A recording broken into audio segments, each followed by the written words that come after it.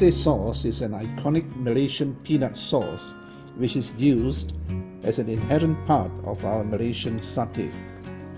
Here is a full presentation of what a typical Malaysian satay is. This marinated meat can be of chicken, beef, mutton or venison which is normally barbecued over charcoal fire after being thoroughly marinated in a special satay marinade sauce. Meat which is always skewered in coconut palm frond sticks are then dipped in the satay peanut sauce and consumed with fresh onions and cucumbers. This satay peanut sauce is just as delicious if you use this as a dip sauce for any form of barbecue meat. Another interesting use of this delicious sauce is as a salad dressing.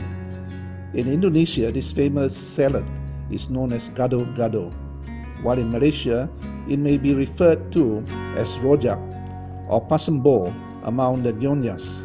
However it is used, it is simply irresistible.